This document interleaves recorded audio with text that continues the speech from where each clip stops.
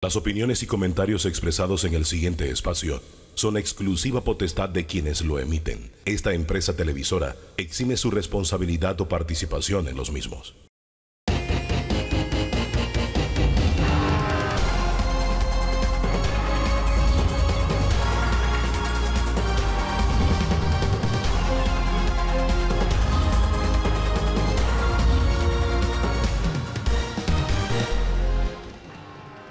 ¿Qué tal, qué tal? Muy, pero muy buen día. Bienvenido, bienvenida a este encuentro dominical en Debate Abierto, la última emisión del año 2023 y esta es la agenda de temas.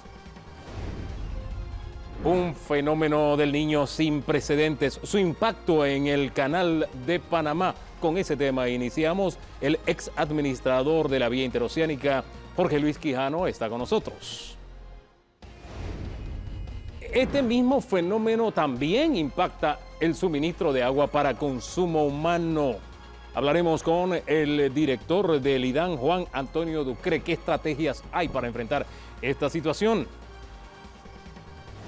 El balance de la semana política que despide este año. Tendremos representantes de distintas campañas, eh, Juan Macay, Alejandro Pérez, eh, Walkiria Chandler, Abraham Carrasquilla, Rafael Delgado, Rubén Castrejo, todos ellos haciendo un balance de la semana política. Y cerraremos con una visión país, el balance de lo que ha ocurrido y de lo que vendrá con eh, Rodrigo Noriega, él es abogado. Don Danilo Toro, ¿qué tal? Buen día. Ahí está la agenda, ahí están los temas. Don Hugo, buena parte del programa se lo va a llevar el fenómeno del niño, pero este niño nació adulto. Sí. Este... Y, también el fenómeno político, en gran eh, medida se lleva el programa de hoy. Entre, entre el adulto que nació niño y la política que no termina de crecer, estamos en un emparedado de, preocupación. Prácticamente, usted lo ha descrito maravillosamente. Está con nosotros Jorge Luis Quijano, buen día, bienvenido. Gracias estar con ustedes, don, don Jorge Luis, desde aquel eh, tuit que fue a la yugular directo del presidente colombiano, la sequía cierra el canal de Panamá. Los titulares que hemos visto alrededor del mundo son apocalípticos respecto a nuestra vía interoceánica. ¿Cómo dibujaría usted la realidad de nuestro canal?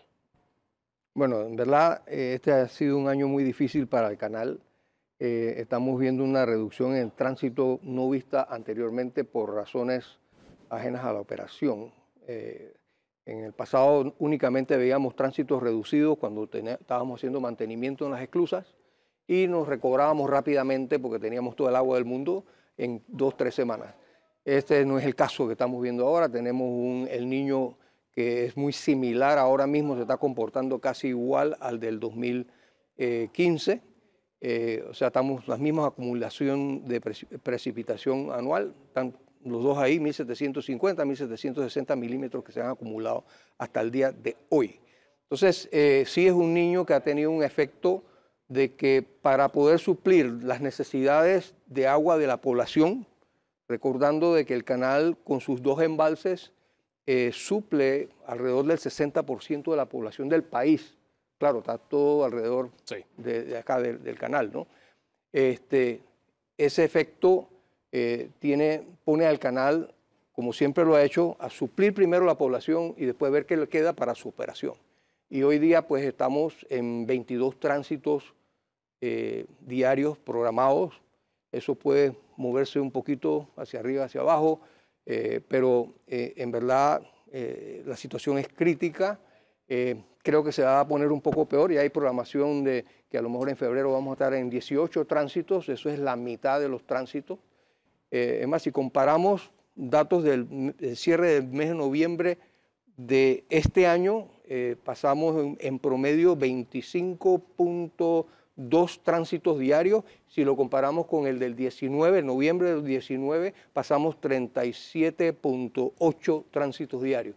O sea que estamos hablando de un una reducción sustancial en el número de tránsitos. Ahora, estamos hablando de la gallina de los huevos de oro, por decirlo de alguna forma. Es el recurso esencial para Panamá, unas finanzas que el próximo año van a estar bastante golpeadas. ¿Esto, esto cómo se lo traducimos en lo que será el impacto que tendrá en las finanzas públicas y por ende en la vida de los panameños esta baja en los tránsitos a este nivel que usted pronostica? Bueno, hasta el momento, eh, y estamos pendientes a ver cuáles van a ser los excedentes que se declaran para el año 2023 que acaba de, culminar. Ya estamos en el año 2024 fiscal, año fiscal. Eh, y este, pienso que con el uso de la subasta por los clientes, especialmente cuando la cola era muy grande, este, han podido más o menos balancear lo que se había puesto en el presupuesto. Eh, sin embargo, eh, la administración del canal sí eh, ha dicho ya en el pasado de que ellos han sufrido una merma de como de 200 millones de dólares que están incluidos en este balance, o sea que hubiéramos podido crecer otros 200 millones de dólares y no se dieron.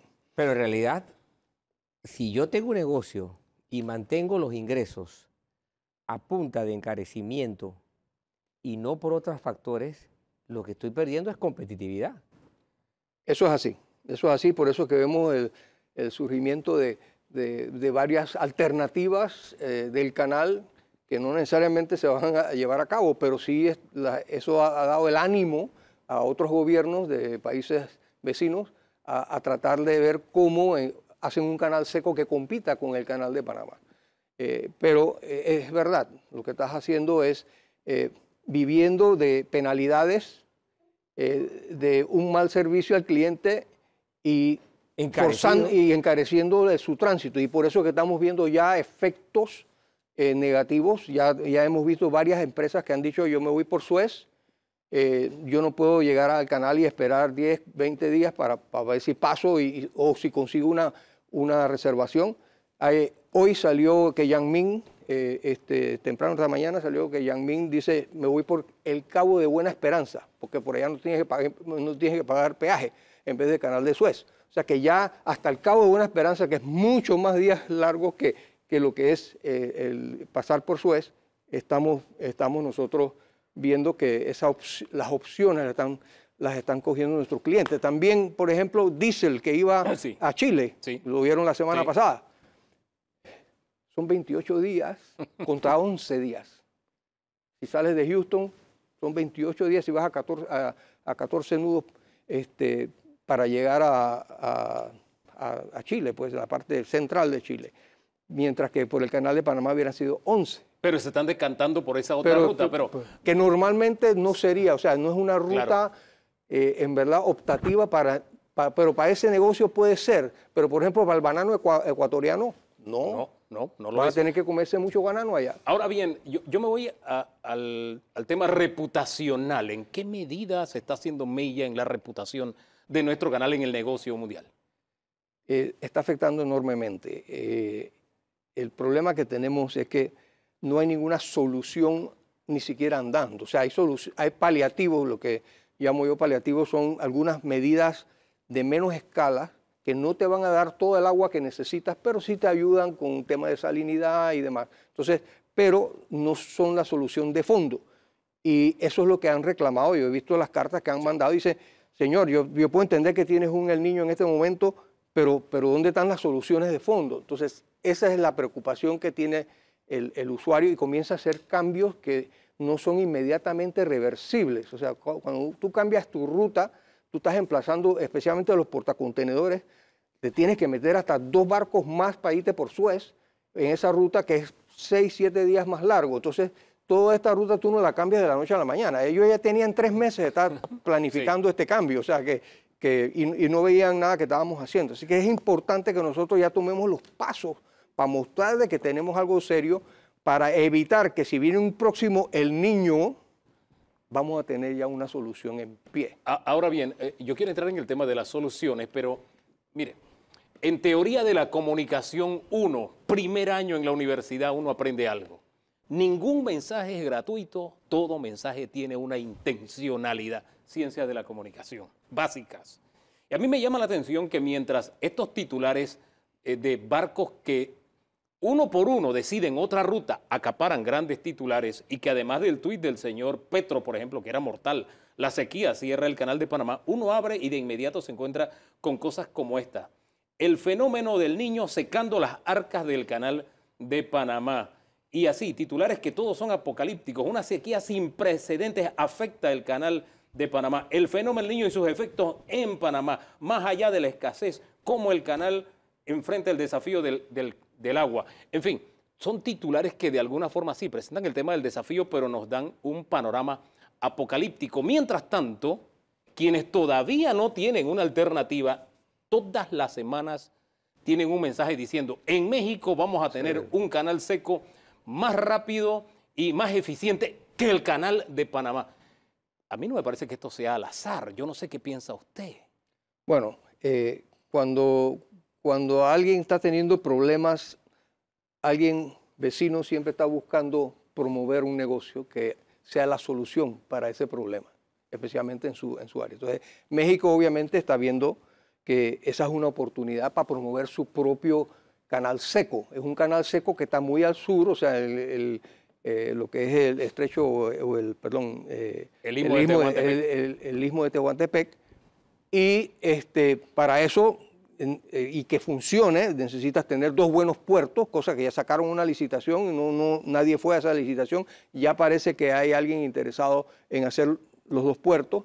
Pero entonces también necesitas poner centros logísticos en el medio.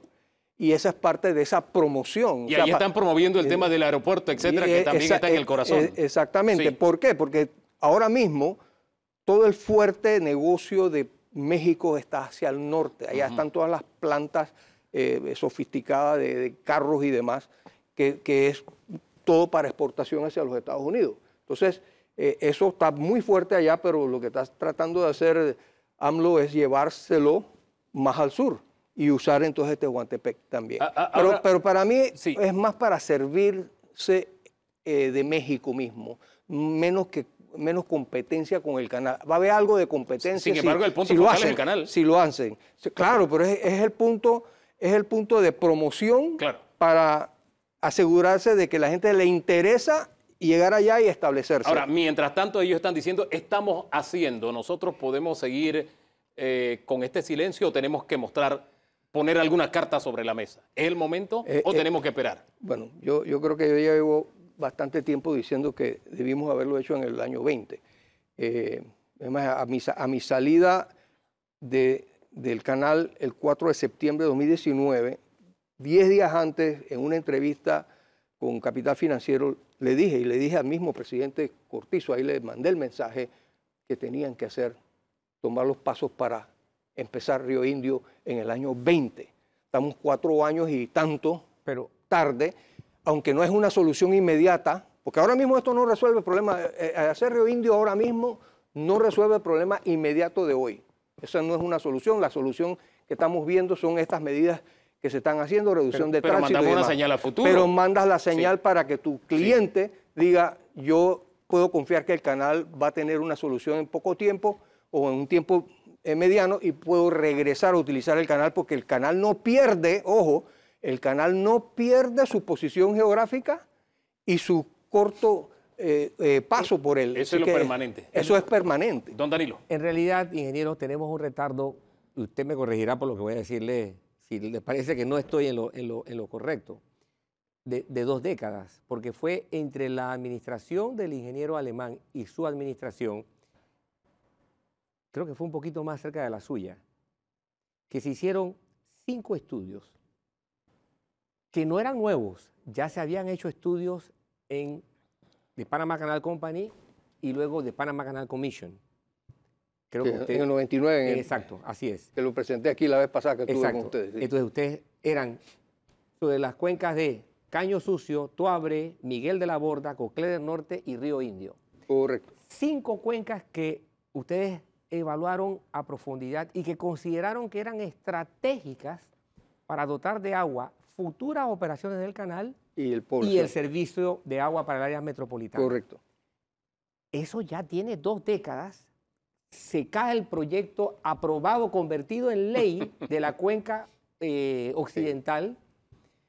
Hubo impericia, hubo falta de, de, manejo político. Lo cierto es que más pudo el miedo que la planificación y nos encontró con una sorpresa que no tenía por qué ser sorpresa. Hay 20 años de conocimiento acumulado sobre eso. ¿Por qué ahora solo es Río Indio? ¿Por qué no los otros cuatro ríos? ¿Qué, qué- Río Indio es una cosita como es para calmar la sede ahora. ¿Qué va a pasar después? Totalmente de acuerdo. Y, y mi posición siempre ha sido, volvamos a la zona occidental o la región occidental que incluía esas cuencas que mencionaste hasta Coclé del Norte. Es más, en una entrevista que me hicieron, no sé si fue aquí, hablé un poquito sobre mi preocupación de que eh, First Quantum estaba sobre la cuenca, en parte, en parte, no totalmente, pero en, en parte sobre la cuenca del río Coclé del Norte que Exacto. junto con Río Indio, Toabré Que me y lo Caño negaban, Sucio, eh, no, es, los un- mapas no es- mienten. es una gran capacidad hídrica que está allí y que como país nosotros debemos de reservarla, no utilizarla para otras cosas. Las cinco cuencas. todas las cuencas Todas las cuencas, estas. bien. Todas las, todas las cuencas Ahora bien, eh, analizar a posteriori a veces nos lleva a algunas conclusiones, pero yo sí recuerdo el momento cuando se cambió la ley. En ese momento que, aunque usted no lo crea, había panameños que decían no a la ampliación del canal, se vendía una línea de comunicación muy fácil, estos eslogans que se pegan. Le quieren regalar el país a la ACP. Ese era el eslogan.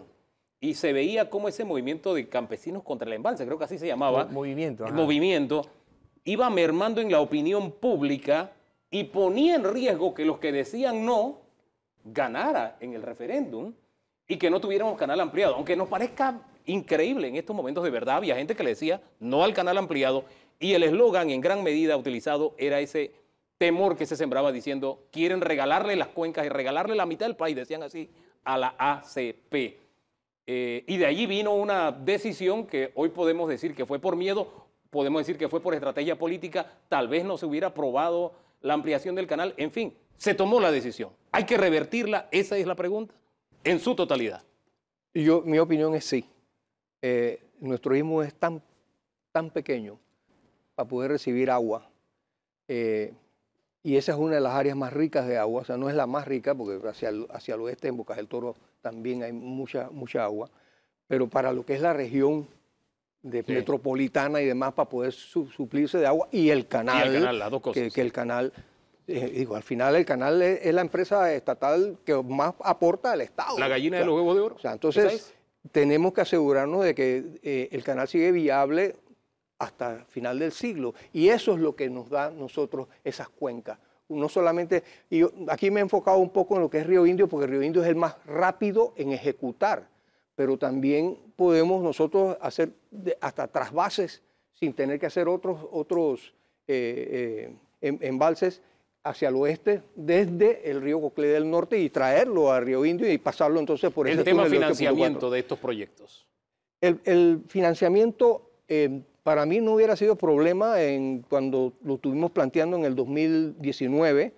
Eh, yo tuve conversaciones en su momento con personas ejecutivos de- del BID, por ejemplo, y, y del CAF, y ambos, eh, después que le presentamos el proyecto, ambos estuvieron interesados en financiarlo. Me dicen, no, no hay problema, eh, eh, si el canal lo, lo va a administrar, nosotros eh, le ponemos los fondos hasta el gobierno. O sea que yo, yo creo que es un proyecto que es un proyecto bonito, no lo veamos nada más como que es un embalse y vas a desplazar personas. Le vas a dar mejor vida a esas personas, porque parte del, eh, del contrato entero, o sea, lo que, lo que hubiese sido el, el proyecto entero, la mitad del proyecto de 900 millones de dólares era para la parte técnica, es hacer una presa, Sí. eh, el, el túnel de 8.4 kilómetros para conectarse, pero la otra mitad era para el tema social y ambiental. ¿Pagadero en cuatro años? ¿En cuántos años? Mira, nada más viendo el- el- Sí. lo que está pasando en este momento, eso se paga en dos años. En dos años con ingresos del propio con, canal. Con los ingresos del propio canal. ¿Y qué hacemos con el temor que subyace de se levanta de nuevo, se le da vida a un movimiento que diga, le quieren regalar el país a la ACP? Bueno, digo, eh, el- la, C- la CP está dándole al 60% de la población del país agua. No, pero de- hay, hay mucho conocimiento acumulado en la ACP porque hay proyectos sociales que han tenido un excelente Éxito. resultado Exactamente. en la, en- en- en la cuenca. Producción de café, Café. Producciones, producciones agrícolas que han tenido en la participación Se, se ve con otros ojos ya, eso es lo que trata de Yo, decirnos, yo creo, creo, don yo creo- yo creo que sí. Este, eh, nosotros hemos colaborado mucho Sí. con toda esa área, eh, dándole titulación, dándole eh, en el área de café no solamente tecnología, sino también eh, buscándole que eh, otras otros, eh, empresas privadas los apoyen con el, eh, lo que es la moledora de café, la empacadora de café y todo esto. O sea que el canal lo que ha prometido con la población lo ha ejecutado. O sea, no se ha quedado de que yo en promesa. Yo ahí respondería, depende de quién le meta leña al fuego, porque este es un fuego que algunos pueden atizar este- políticamente este y en el que los panameños tenemos que estar más despiertos y no dejarnos llevar por eslogans. Como se dice allá, este cocinado se hace en mayo. Sí, señor. Ahora, ¿se puede dejar para el próximo gobierno o tiene que ser este gobierno el que lo, que lo comience? Yo digo este gobierno. Tiene que ser. Si lo vayan a hacer o no. ¿Tiene el capital político? Eh, yo creo que en este momento hay que hacerlo, no es cuestión de que si hay capital político o no, porque ese cuento ya lo he venido oyendo hace rato. hace tres años. Hay que tomar, digo, cuando tú eres, cuando tú llegas al gobierno, digo, tú tienes que tomar decisiones. Aquí tú tienes un director que va a tener que tomar decisiones duras. Bueno, con él vamos a hablar en segundos. Es el director de IRIDAN porque hablamos del canal de Panamá, pero también cómo se va a afectar el consumo humano. ¿Qué planes hay para evitar que que no nos falte el vital líquido. De eso hablamos en segundos nada más. Muchísimas gracias por acompañarnos. yo quiero oírlo también a él. Porque, ¿Usted se queda para oírlo? Porque yo quiero oír qué vamos a hacer en abril. ¿Así? ¿Ah, sí. En breve, usted lo sabrá también. Quédese allí.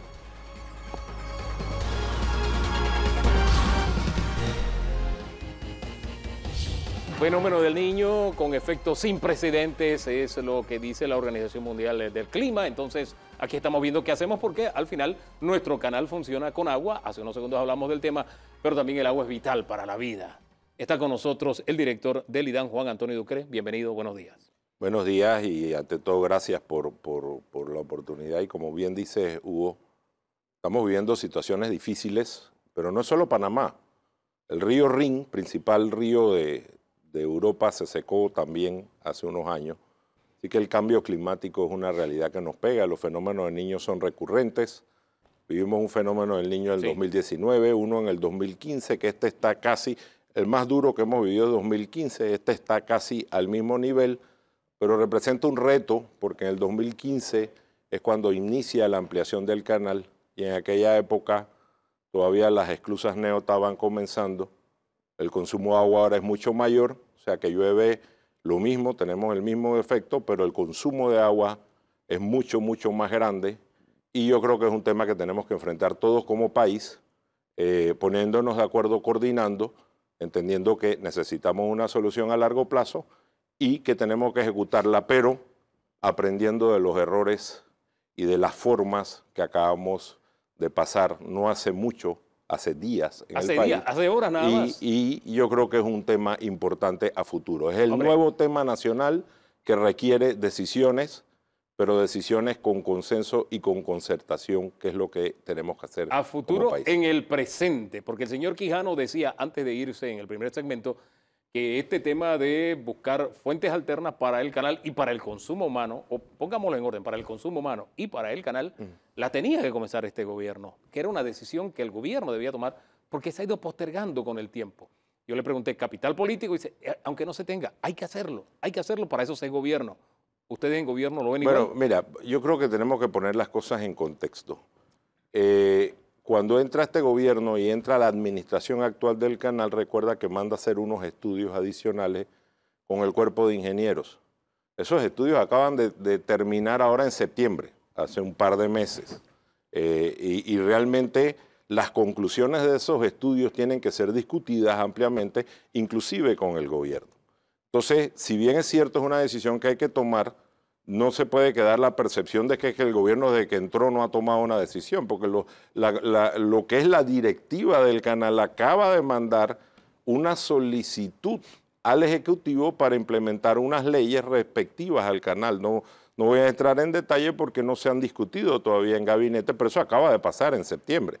Mientras tanto, estos años... Se ¿Tiene que ver con el tema Cuenca? Eh, bueno, sí te, voy a, sí te puedo decir, mira, los estudios que hizo el cuerpo ingeniero, que es un compendio y un análisis de todos los estudios anteriores, realmente lo que tiene es una línea base que comienza en el 2025 y proyecta todas las necesidades de agua hasta el 2075 y provee las soluciones a largo plazo. No está buscando solucionar, como muy bien dijo el ingeniero Quijano, este fenómeno del niño y probablemente ni siquiera el siguiente fenómeno del niño. Está buscando dar soluciones a largo plazo en la sostenibilidad hídrica del canal y sobre todo el consumo humano. ¿Qué quiere decir el estudio? Por ejemplo, en el consumo humano. Ahorita mismo en la gran área metropolitana tenemos 2.5 millones de personas del cual extraemos principalmente en el IDAN el agua para la población, pero para ponerte en proporciones, eh, se evapora el doble del agua que nosotros le, sacamos al canal. El estudio lo que sí dice es que en el 2075 aquí van a haber 6.5 millones de personas y el tema hay que compensar hídricamente lo que estamos extrayendo al canal. Y yo creo que todos vamos en esa línea. Hay que buscar fuertes alternativas. Se ha estudiado Bayano, que es un lago casi tan grande como el lago Gatún, y evidentemente Río Indio, que es la, cuenca alterna, que es óptima, pero que sabemos la historia y podemos repasar de cómo llegamos a bajar el límite de la cuenca y por qué ahorita mismo ese es un tema de análisis, pero es un tema de análisis también social, político, que no es un tema nada más técnico de muéveme la cuenca. Antes de, entrar en ese análisis, porque quiero que me ayude, sea una ayuda a memoria en ese mm. Eh, de la forma en que me lo plantea, me está diciendo que aquí también la pelota queda en la cancha del próximo gobierno. Bueno, no. Eh, definitivamente que se puede hacer en este gobierno, lo que no se puede es mandar una ley en este momento a la Asamblea sin consulta, sin consenso, sin concertación, porque podemos tener el riesgo de volver a tener manifestaciones, porque así como probablemente tú y yo estemos a favor y vemos totalmente lógico hacer un embalse en el río Indio, puede haber gente que no esté a favor. Recordemos en la ampliación del canal que el partido panameñista estaba en contra de la ampliación del canal, que hubieron movimientos inclusive que tenían que ver con la iglesia allá arriba y movimientos de ahí salió la, eh, comisión esta, eh, eh, campesina contra los embalses. O sea, no te creas que porque aquí decimos que hay que hacer río indio, todo el mundo lo debe o lo puede aceptar. Así que, y te acuerdo un punto, Hugo, cuando se dio eso en la administración Torrijos, que se analizó el tema de la resistencia, fue la misma CP que dijo que mediante el diseño de la construcción de unas tinas ahorradoras se podía posponer durante muchos años la necesidad de embalse. Y se hizo una ley que está vigente, que prohíbe los embalses para el canal de Panamá. O sea, no es cuestión de mover el límite de la cuenca. Hay una ley vigente. O sea, hay que ir a la Asamblea. Es un tema nacional, es un tema que, que, no es, es, cuestión de una decisión, sino es un tema de concertación que tenemos que abordar, Hugo. Y yo creo que tenemos que abordarlo lo más pronto posible, pero que no debemos confundirlo con el fenómeno del niño y las medidas que tenemos que tocar, porque en este momento ese es el tema que tenemos que superar de aquí a junio. Es que el tema político enturbia las aguas tristes y lamentablemente, pero siempre juega un papel. Cuando yo trato de explicarle a mis hijos el tema del canal de Panamá y le digo, había gente que decía no al tratado, a ellos les sorprende. ¿Cómo que había gente que decía que no? Le digo, sí, había gente que por, porque eran oposición había que decir que no. Es como hubo gente que le dijo no a la ampliación y también les sorprende. Pero es parte de la historia y no podemos olvidar lo que el ingrediente político, porque el propio Varela lo dijo después, yo estaba en oposición, es lógico. Para mí no es lógico, pero para ellos sí, oponerse a planes y proyectos como este. Es un elemento a tomar en cuenta, don Danilo. Se lo pongo ahí. Sí, y, pareciera ser que, el, gobierno ¿no? y la institucionalidad completa del Estado todavía no, no termina de ajustarse a la realidad. Eh, cuando salió eso de que la ACP le estaba pagando 500 millones de dólares al gobierno, eh, eh, había la sensación de que por lo menos había una visión clara de lo que se estaba haciendo. Hoy día sabemos que hay un retardo que ni la ACP sabe cuándo se va a poner al día el proyecto, ni el gobierno lo dice y ni manda ninguna señal. Y total, eso, eso todavía es un, proyecto gris. Pero quiero ir sobre el asunto de la disponibilidad de fuentes hídricas de agua para el consumo humano. Acabamos de vivir todo este, este, este terremoto sociopolítico sobre el asunto minero en Panamá. Pero es que las fuentes hídricas han estado sometidas a estrés de contaminación enorme y por varias razones. Caso típico, el río Santa María de, Azuero, que es un río que ha estado recurrentemente sobre... Y este problema no parece estar entre los problemas prioritarios. ¿Tiene el Irán proyectado algún plan de protección y de preservación de fuentes hídricas para que haya garantía de agua para el consumo humano, no solamente eh, para el periodo que viene, que es crítico, sino ya a más largo plazo. ¿Usted va a dejarle al nuevo gobierno algún, algún, algún manual, alguna hoja de ruta? Bueno, y, y, qué bueno porque es una oportunidad de hacer docencia y sin tratar de esquivar una responsabilidad. Es muy importante definir qué es el IDAN. Es una empresa pública de servicios de potabilizar y distribuir agua potable. No, forma, no es un rector y no es el vigilante de las cuencas. O sea, para que una empresa, es como la empresa eléctrica, me explico, nosotros distribuimos agua. El Estado tiene los instrumentos institucionales de rectoría, como lo es el Ministerio de Ambiente para el cuidado de las cuencas, y hay estructuras como los comités de cuenca que existen. El fortalecimiento institucional definitivamente que es un reto en general. Te pongo otro ejemplo. La cuenca del canal la administra el canal y ellos hacen una vigilancia responsable. Yo sí te tengo que decir, y, disculpa que te vuelva sobre el tema, mira, la, CP y el IDAN están coordinando más que nunca respecto al estudio del cuerpo de ingenieros, la vigilancia, porque además el canal tiene un tema de calidad de agua por la salinidad que se está dando producto de las esclusas del canal. Y eso es una realidad que tiene que ser transparente y que forma parte de las soluciones que tenemos que buscar en conjunto. Eso nos ha acercado y nos está haciendo trabajar en conjunto y determinar las alternativas. Vamos a tener a mediano y corto plazo, según los estudios que se han hecho en los últimos tres años, las responsabilidades, intervenciones e inversiones necesarias que van desde optimizar los niveles de los lagos, vigilar mejor la calidad del agua, de lo que estamos administrando y las soluciones que vayan dando que incluye inclusive la reparación de fuga, la parte comercial, o sea, optimizar todo el sistema de manera general. Sin embargo, cada uno tiene que cumplir su rol. El canal, mi ambiente, el IDAN, el MINSA en los acueductos rurales, porque todos somos al final parte de un mismo sistema. Vamos a lo inmediato, eso de manera global, pero tenemos una temporada sin lluvia extendida hasta mitad del próximo año, ¿se va a garantizar agua potable para el consumo de las personas en el área metropolitana? Mira, cuando el canal dice, como muy bien lo dijo el ingeniero Quijano, eh, la prioridad es el consumo humano, no es que, no es que el canal le, regala el agua a la población, es que, es que por constitución la prioridad es el consumo humano. En este momento la disminución de tránsito en gran parte tiene que ver porque la altura con que toman las tomas, si bajas más el nivel del lago, se quedarían sin agua y la población se vería afectada. Como de hecho se vio afectado a principios de este año, porque te acuerdas que la potabilizadora de Chilibre, que si bajaba 205 pies. Entonces, eso y los modelos se han ajustado.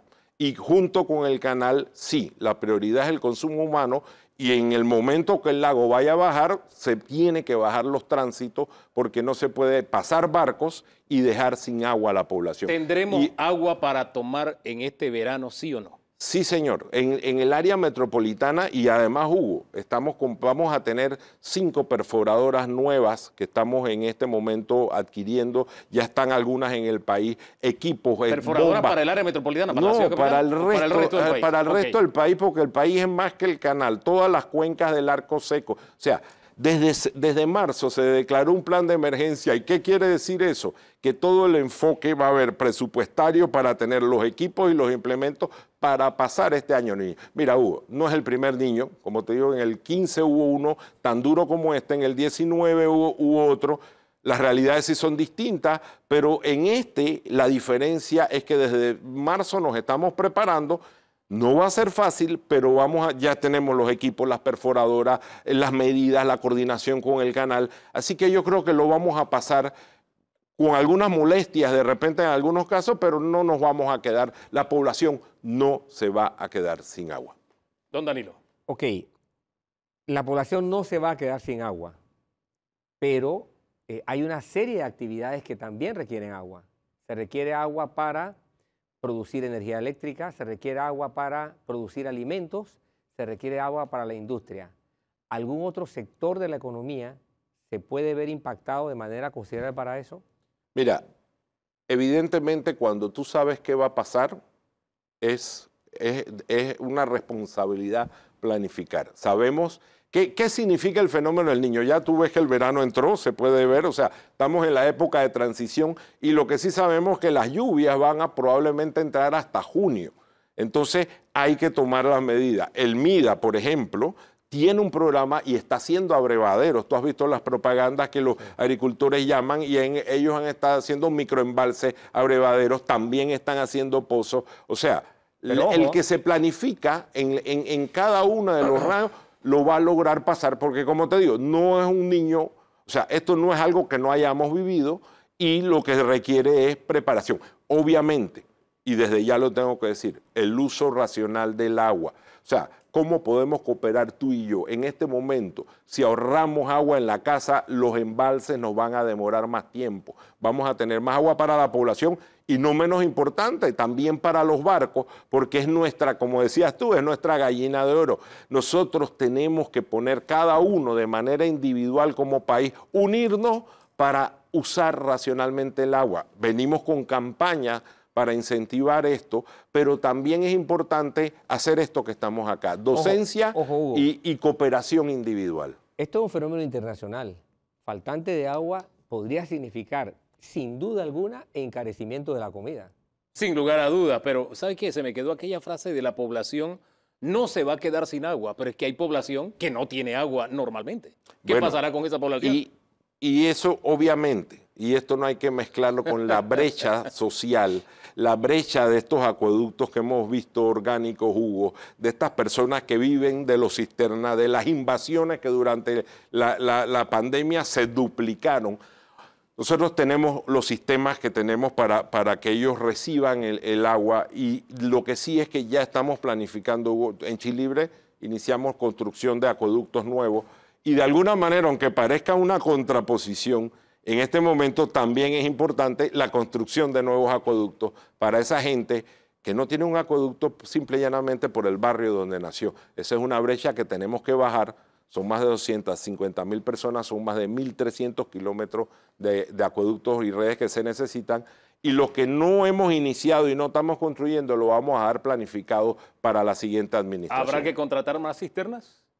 Mira, los cisternas que tenemos ya están, el IDAN tiene sus propios cisternas propios y no hay que confundir. Los contratos de cisternas que le llevan agua a las poblaciones informales, que no son acueductos del IDAN, pero lo administra el IDAN, y los cisternas del IDAN, que son propios, son estatales, para administrar las contingencias, por ejemplo, cuando se dan sequías. Nosotros estamos preparados en ese sentido con los equipos necesarios en el caso de que se dé una contingencia. Al final, nuestra responsabilidad sí es que nadie se quede sin agua. En el sector oeste, por ejemplo, que están viviendo la difícil desde hace tanto tiempo, ¿cómo será el fenómeno? ¿Cómo les va a impactar el fenómeno del niño? Mira, eh, el sector oeste depende del lago Gatún. Y como ya te hemos dicho, el, el nivel del lago Gatún baja hasta un punto donde las potabilizadoras pueden operar sí estamos coordinando la adecuación de las tomas. La ampliación de Mendoza que va a hacer la CP incluye también la capacidad de que la toma tome a niveles más bajos del lago para optimizar los tránsitos. Por ejemplo, Sabanita ya está, lista, está optimizada, o sea, todas nuestras potabilizadoras pueden tomar, digamos que hasta, hasta 79.5 pies y están preparándose para que el lago pueda bajar a 76 pies un pie del lago Gatún son muchos tránsitos y eso se está preparando mientras buscamos la solución de largo plazo que puede ser Río Indio, puede ser Bayar, lo que la decisión que se vaya a tomar. Mientras ¿En el próximo gobierno? ¿En este? Mira, en, este vamos, eh, no, eh, mira, nadie ha dicho que no se pueda tomar en este gobierno. ¿Usted, la, ve, ¿Usted la ve asumiéndose en este gobierno? Mira, si hay consenso y concertación, sí. Lo que no se puede es cometer el error de mandar a la asamblea, de que de haya gente protestando, que se tranquen las calles, porque si no aprendemos de lo que acaba de pasar, vamos a cometer errores a futuro. Insisto, probablemente los tres que estamos acá estamos y no dudamos que haya que hacer Río Indio. Yo sí creo que hay que hacer Río Indio. Antes o después. pero, pero créeme que hay gente que puede estar en contra y, como te digo, los que estuvieron trancando en cuatro altos, durante todas estas protestas era el Comité de Campesinos contra los embalses. Oiga, es cierto que todavía sigue, tiene toda la razón. Tiene toda la razón. ¿Qué fueron los que se opusieron en su momento a la ampliación? Exacto, entonces. Y que decían que le queríamos regalar yo, el canal. Yo a- creo que sería interesante a la ACP, a- el antes, país. antes de mandar una ley que Sí. mueva cuencas o que quite la provisión, pregúntele a, a los compañeros de la Suntrack, pregúntele a Hombre, los el gobierno es el compañeros. que tiene que hacer el acercamiento con no, ellos, ¿no le pero parece? es, es exactamente. ¿Y el gobierno lo va a hacer? antes, antes de tomar una decisión, eso hay que hacerlo, Hugo. Con sen- con- ¿Quién es ahí? ¿Ah? ¿Quién es ahí? El gobierno. gobierno. El gobierno. ¿Y En es eso el gobierno? estamos. ¿Usted? No, no, yo no soy el gobierno. Yo nada más soy el director del IDAN. Pero créeme que esa es la postura del presidente. Buscar consenso, diálogo y llevar a la concertación O sea para que- poder tomar ¿Y la habrá decisión. capital político para hacerlo? Es la pregunta que queda Por en el lo ambiente menos, siempre. por ¿no? lo menos descartado el, el, el director director queda el ministro del Ambiente. Sí, por lo menos. Él lo dejó, lo dejó expuesto. Dejémoslo hasta ahí, Para, gracias. para lo de los ríos, Ah. para lo de los ríos, definitivamente Cambio Ambiente es el que vigila la cuenca. Gracias por acompañarnos esta mañana. Vigilantes también en el tema político que va a acaparar en gran medida la atención el próximo año y que desde ahora tenemos que saber qué piensan las diferentes campañas. Así que más adelante viene el debate de la semana política y retos que tenemos por delante. Este es solamente uno de ellos. Ya regresamos.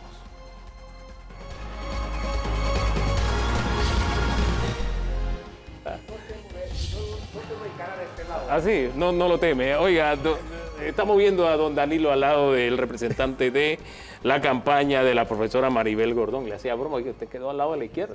Ah, Dice, no temo, no temo. Ah, Bienvenido, Rubén Catrejo Camarena. También nos acompaña eh, Rafael Delgado de la campaña de Melitón Arrocha y Abraham Carrasquilla de la campaña de Rómulo Rux. Bienvenidos y gracias por acompañarnos en debate abierto. Creo que el primer tema que podemos abordar tiene que ver con el agua, que es lo que eh, estuvimos analizando en los primeros do- dos segmentos. Reto que probablemente tenga que enfrentar el próximo gobierno por tema embalses, tanto para funcionamiento del canal, o pongámoslo en orden, para consumo humano, que es el reto, y también para funcionamiento del canal, que es nuestra gallinita del huevo de oro. Eh, ¿Cómo lo ven cada una de las campañas? No sé, ¿quién tome la palabra para Bueno, comenzar? Bueno, eh, gracias, buen día. Eh, pienso que lo importante es decir la verdad, ¿no? Estaba escuchando a los representantes del gobierno, como siempre, tratando de evadir la respuesta que ustedes insistían que diera, porque el consumo humano es necesario, también el paso por el canal. Pero todo se basa en estudios que están realizando, estamos eh, adquiriendo, pero no se dice qué se está haciendo para ayer. Entonces, todo se deja para a futuro. ¿Le parece una actitud responsable? Es sumamente irresponsable, como lo ha demostrado siempre este gobierno desde que entró del día uno. Ha tenido situaciones que tenía que enfrentar y la ha dejado para segundo plano. Ahorita hay muchos temas que están pendientes y se le está dando la espalda, está eh, evadiendo. El tema del embalse ya tiene que haberse tomado decisiones. Pero la realidad es que nos han tomado decisiones. Oiga, pero ahora que lo pienso, el movimiento este del comité contra los embalses se va a oponer. La lógica me dice, se opuso antes, me imagino que ahora se volverá a oponer a, a que se embalsen las aguas de Río Indio, etcétera, para Hugo, consumo humano y, la- y el funcionamiento del canal. O Eh, yo estoy equivocado. Permítame. Primero que todo, gracias por la invitación. Venimos pues en representación de la campaña de la profesora Maribel Gordón y el saludo pues a los demás panelistas que nos acompañan. Eh, Él reitera para que la gente tenga bien claro la Yo creo- yo Eh, creo eh, que- Es un anuncio político no pagado. Adelante. Yo creo que hay un tema que si el gobierno en este momento no ha aprendido de la última lección que ha tenido, que fue la protesta a nivel nacional que se hizo en contra de la mina, y si no ha aprendido de esto, y creo que muy bien lo decía el señor director del IDAN antes de retirarse, de que creo que tienen que hacerse las consultas. Eh, y esa es parte de lo que se propone. O sea, tú no puedes tomar decisiones y querer después imponerlas. Entonces, si tú consultas, hablas y le explica a la gente el tema, creo que se pueden llegar a consensos para ambas partes. O sea, que no es, va- no no- es el tema de imponer. Sí. Cuando tú quieres imponer las cosas, entonces sucede lo que realmente pasó. Aquí se advirtió con, con tiempo, se le dijo, esto es inconstitucional, ya hay Sí. un fallo, respetemos este fallo. Y a pesar de todo eso, el gobierno de manera eh, imponente, querer hacer lo que yo digo porque yo soy el que mando, tuvimos las consecuencias de lo que hoy pasó. Y finalmente quedaron retrocediendo a las actitudes. Y un grupo de diputados pidiendo disculpas que no se habían leído el proyecto. Entonces, estas irresponsabilidades que tenemos de nuestros gobernantes son las cosas que se tienen que cambiar. Bien, ya él lo dijo, que había que aprender y me pareció que hacía copio de aprendimos del golpe. Pero parece que lo va a heredar el próximo gobierno. La pregunta es, ¿la izquierda se va a oponer a los embalses o no? Mira, la pregunta es un poco amplia y yo creo que decirte un sí o un no no es eh, eh, la respuesta. La respuesta es que las decisiones coyunturales que se tomen en esta administración eh, de nosotros llegar a ser gobierno, todas van a ser consultadas. ¿Cuál es la óptica con que maneja este tema la campaña del señor Rux? Estamos hablando de agua para consumo humano, o sea, para el día a día, para la vida de la gente. Y estamos hablando de agua para que siga funcionando el canal de Panamá, que ya vemos cómo queda con el fenómeno del niño. Gracias, Hugo, y saludos a, a todos. Realmente creo que debemos partir comprendiendo que esto es un recurso de primera necesidad del panameño. Y ahí creo que ha sido la falla de este gobierno durante cinco años desatender la prioridad del panameño, que es el agua, el agua para la población, para vivir. Es algo que requiere día a día. Y lamentablemente hemos perdido cinco años, cinco años del gobierno del PRD, cinco años de, otra promesa incumplida del presidente Cortizo, en la cual pues eh, ya quedan cinco meses y difícilmente este gobierno va a poder resolver este problema. Y, esto se agrava con el fenómeno del niño, que viene en este verano, uno de los veranos más difíciles que vamos a enfrentar. Y aquí, aquí teníamos que hablar de reestructuración del IDAM. Eso fue una, una promesa, una propuesta que presentó Rómulo en las pasadas elecciones. El IDAM es un administrativamente, operativamente, no funciona. Eso está demostrado, comprobado, y esos hay que realizar cambios profundos en la administración, en el suministro, en generar nuevas fuentes de recurso hídrico para la población. Y ahí, ahí entonces yo entraría, eh, al presupuesto, a estos 34 mil, mil millones de dólares en este presupuesto 2024. Y yo quisiera saber ahí si ahí, si ahí se planteó la prioridad del agua para enfrentar la crisis que viene y para enfrentar los problemas que ya heredamos durante décadas eh, eh, sin suministrarle a la población el, agua. El, director del IDA nos dijo que, que se habían establecido cuáles eran los recursos con que se, que se necesitaba contar y que están contemplados, pero al hablar de presupuesto estamos hablando de un, de un hoyo negro, no sabemos todavía a dónde vamos a caminar o, cuál es el camino, cuál es el norte. La Asamblea dijo, el Ejecutivo no recogió, eh, no retiró el proyecto que supuestamente está cambiando y nosotros, bueno, ahí tenemos un choque de dos poderes. Al final, ¿qué es lo más conveniente para el país? Y si yo estoy en lo cierto al hablar que estamos hablando de un hoyo negro, no sé cómo lo ven ustedes, se lo pongo sobre la mesa. Tema presupuesto que está pendiente. Desde el 2004 está el tema del embalse del río Indio. Y desde esa época se habló de que los eh, lugareños se oponían a esa situación. Han pasado tantos años y no hemos podido conversar con la población para darle una respuesta satisfactoria.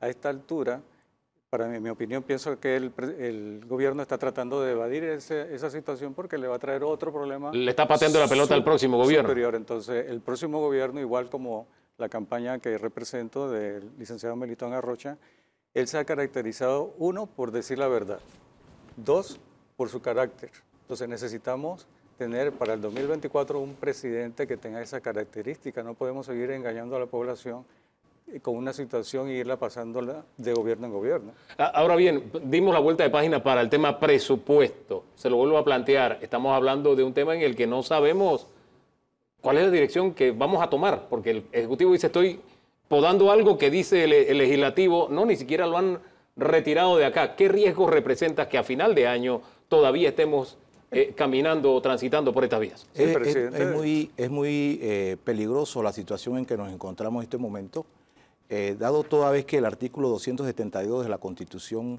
Nacional establece que de la Asamblea no haber aprobado en este año fiscal el presupuesto, no haberlo votado, dice taxativamente el texto constitucional, entonces le tocará al Ejecutivo aprobarse en Consejo de Gabinete este presupuesto.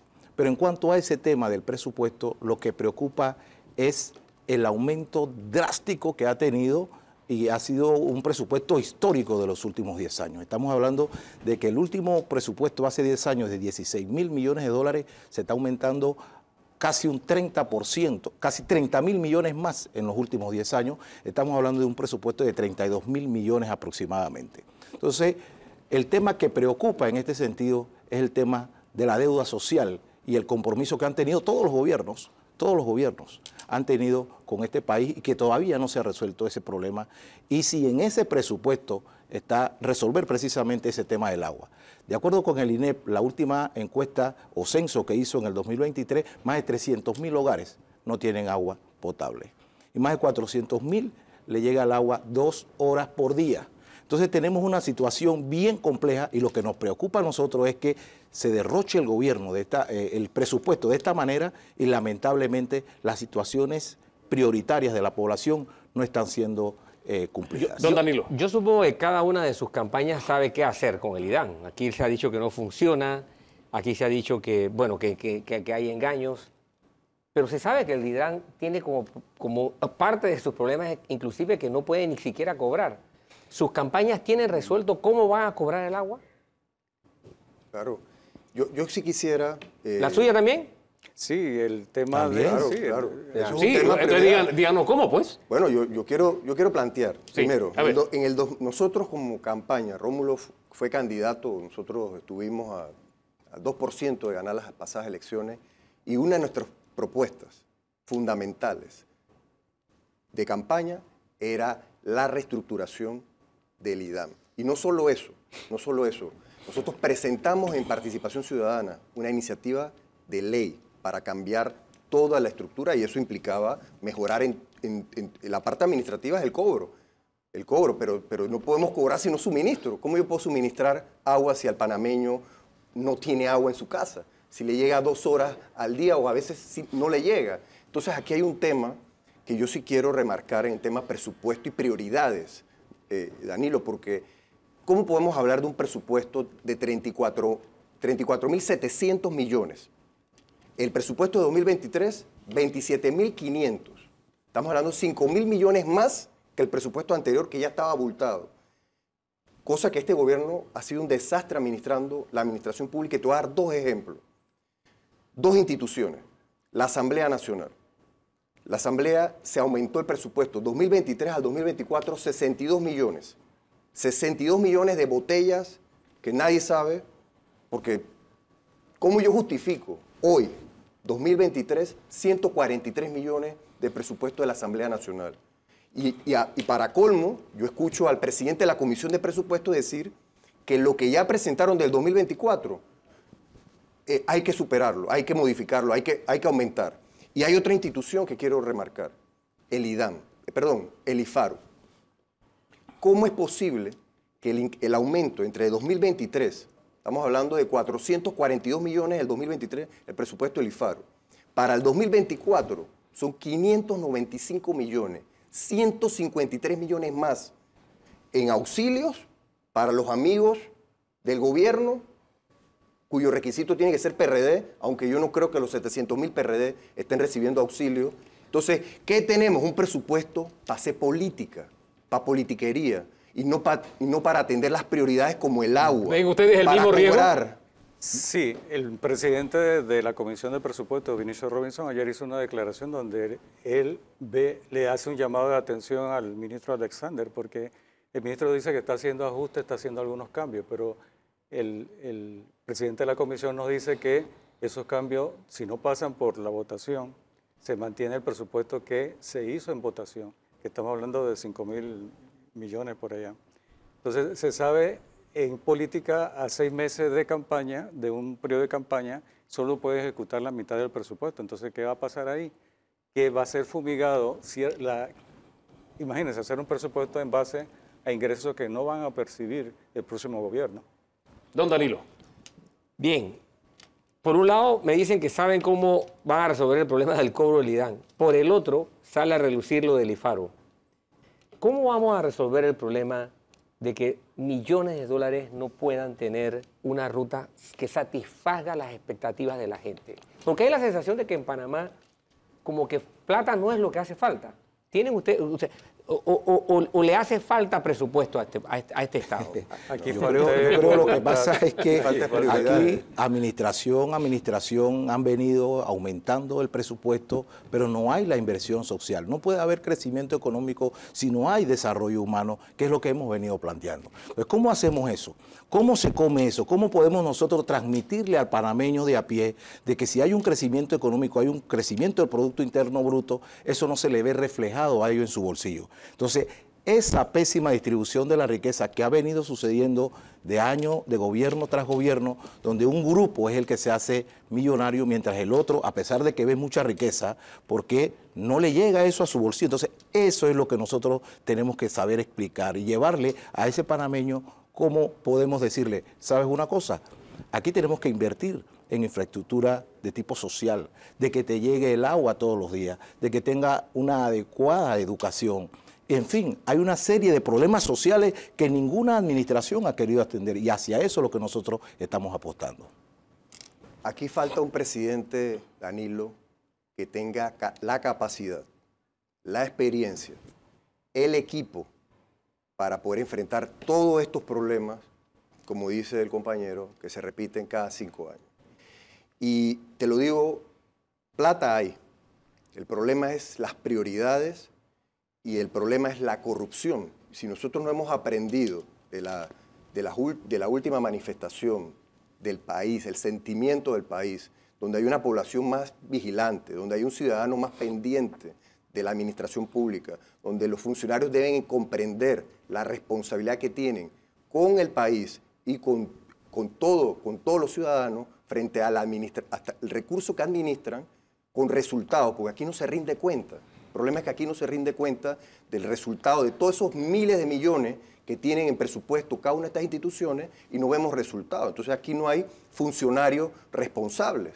Aquí no hay funcionarios responsables ante fallas, ante mala administración y ahí es donde viene el punto. Si invirtiéramos todo este dinero en educación, que era la estrella de este gobierno, si invirtiéramos todo ese dinero en salud y no tuviéramos a los jubilados peleando su pensión o un aumento o un bono, porque recientemente el viceministro eh, les prometió un bono de, de 50 dólares, cuando el, el costo de la vida, la canasta básica no alcanza, un, un bono que, que para, mí, para mí es irresponsable, porque si analizamos la canasta básica versus lo que perciben los jubilados y pensionados, y, y la realidad que estamos viviendo y los miles de millones que se ven y un presupuesto multimillonario, entonces, ¿cómo tú le puedes decir entonces a los jubilados que no hay plata para, para aumentarle su jubilación? y su Usted dijo que lo que necesitábamos era un presidente y comenzó a describir a ese presidente.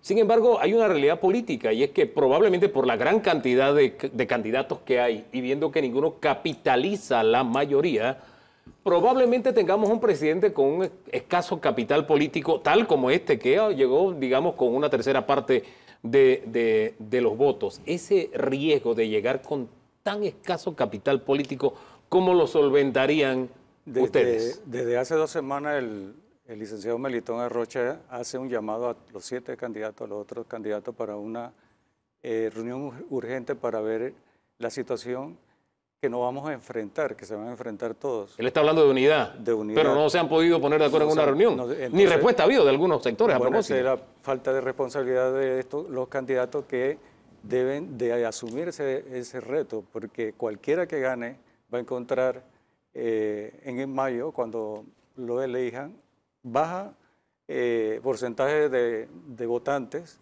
no va a tener una mayoría, ¿y qué va a hacer? Entonces, el licenciado Melitón está haciendo un llamado a la unidad nacional desde ya para que el que gane igual se trabaje con gobernabilidad. ¿Es posible esa unidad o no es Eh, posible? nosotros- Independientemente de quién esté convocando. Exacto, eso no es el, el tema. Lo que nosotros tenemos que hacerle entender a la población y utilizar estos canales eh, de comunicación masiva es que la política tradicional tiene que cambiar.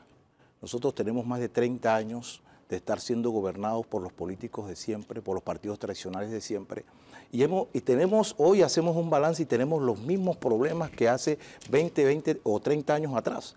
Entonces, la población panameña tenemos que hacerle entender de que la clase política tradicional, los métodos de, gobernar tienen que ir cambiando hacia nuevas políticas públicas que beneficien a todos los sectores de la sociedad.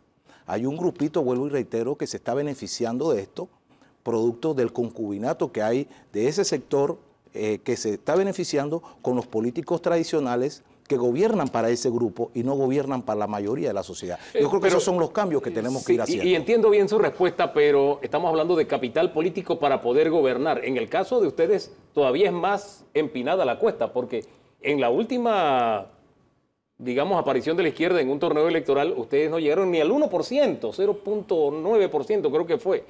¿Cómo gobernar con escaso capital político? ¿Están ustedes conscientes de esa realidad? ¿Y qué harían para tratar de no atravesar los mismos páramos que pasó esta administración por su escaso capital político? Rómulo, eh, Hugo, Sí, no no nos confundamos. sí.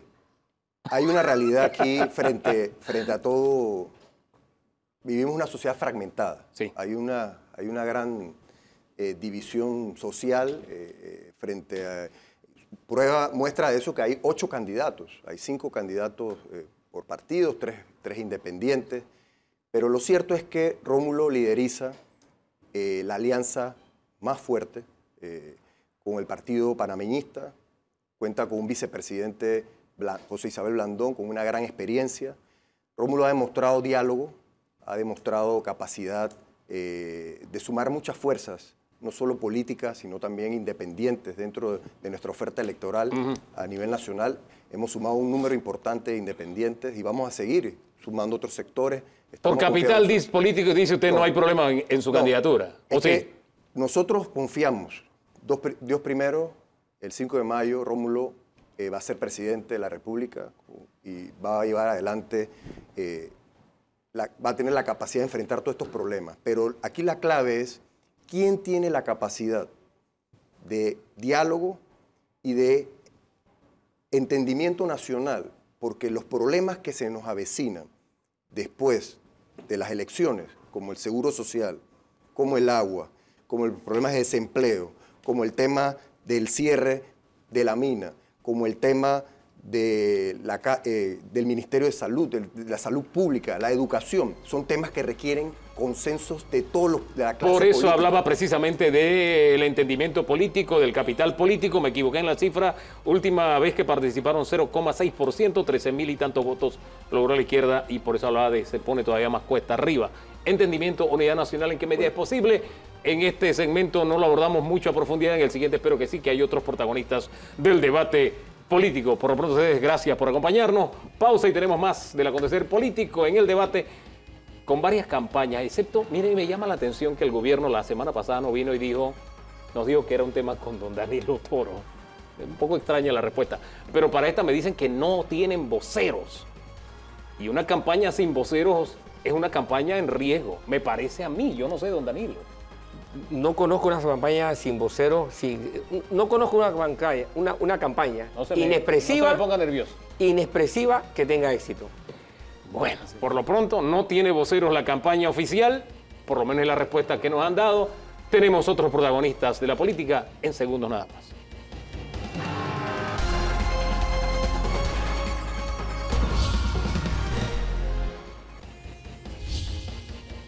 De vuelta el análisis político, ahora están representantes de otras campañas sin la campaña oficial, que no tiene voceros. Ya no es- Dijimos que una campaña sin inexpresiva no tiene éxito. O sea, no, no existe forma de poder ganar políticamente si no te expresas. Bueno, la impresión que he escuchado del candidato presidencial oficial es que ellos apuestan a que la membresía del PRD va a votar por él.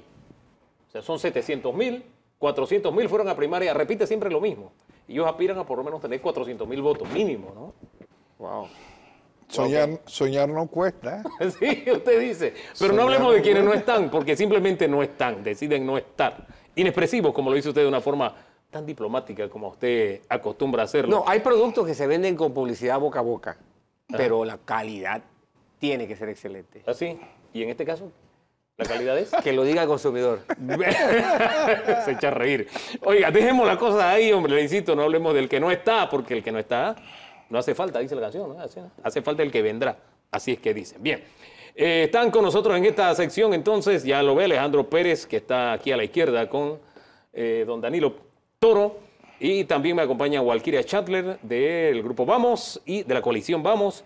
Y nos acompaña por la campaña de Martín Torrijos, don Juan Macay. Gracias a los tres por estar esta mañana aquí con nosotros. Hablamos un poquito en el segmento anterior de la gobernabilidad, del capital político con el que se llegaría al poder, ¿no?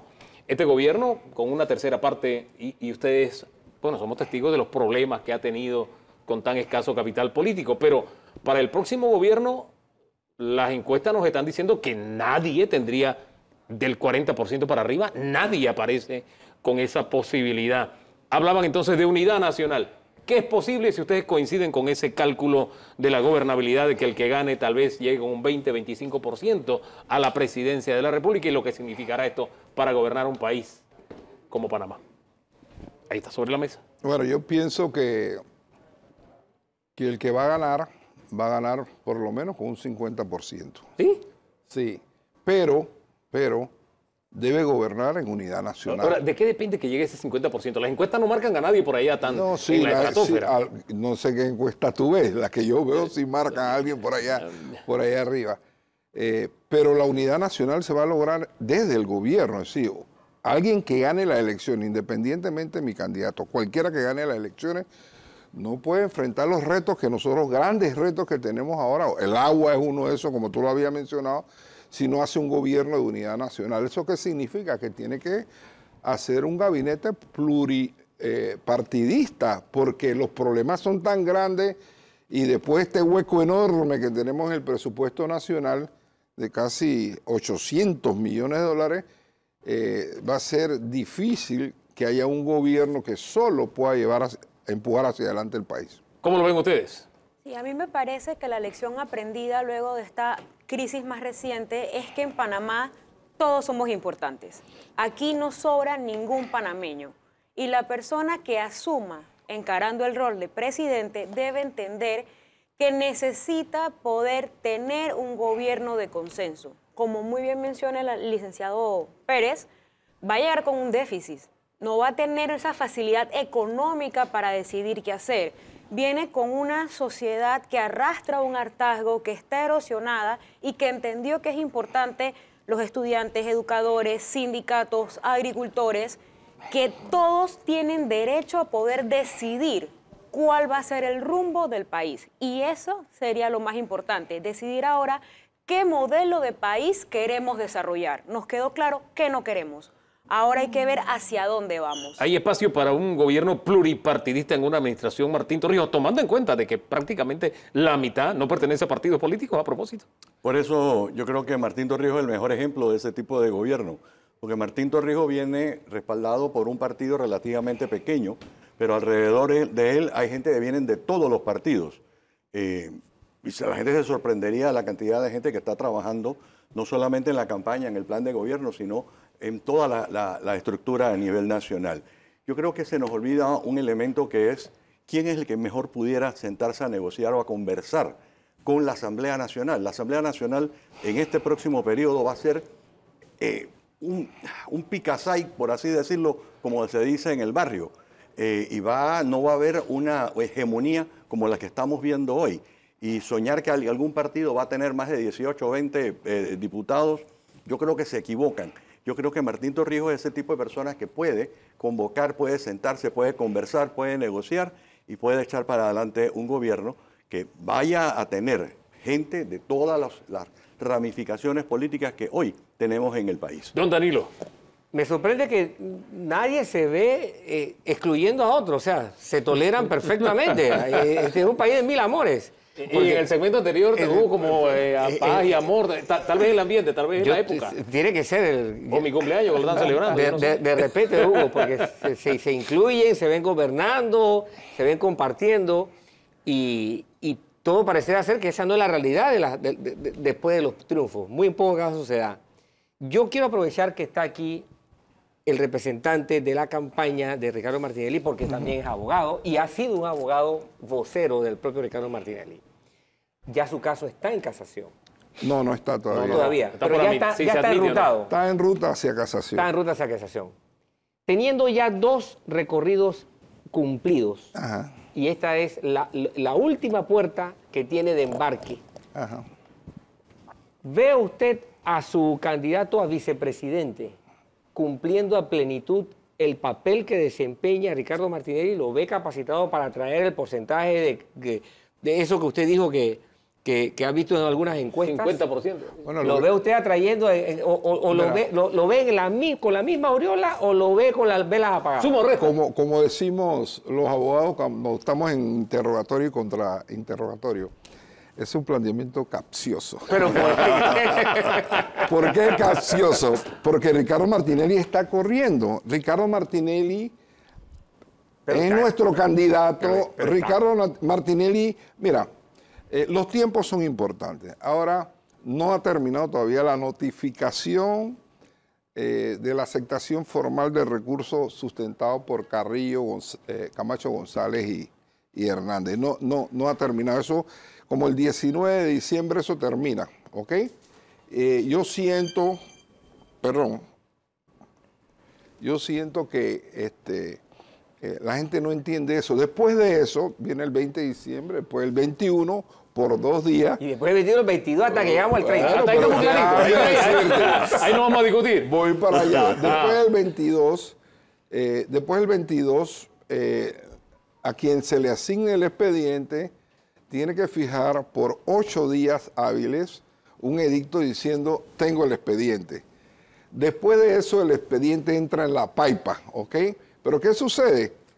Que hay cin- 16 casaciones previas a la nuestra, ¿ok?